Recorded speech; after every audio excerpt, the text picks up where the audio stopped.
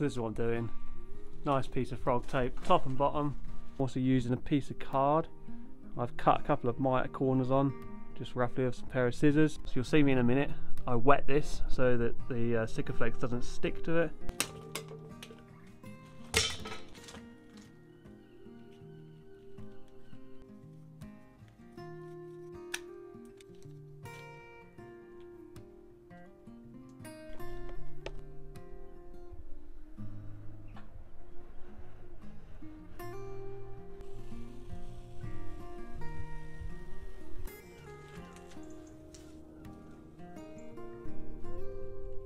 There we have it.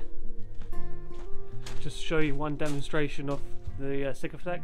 This isn't perfect by any means, but pretty fine for here. So now I'm going to go around the rest of the camper and do this everywhere else.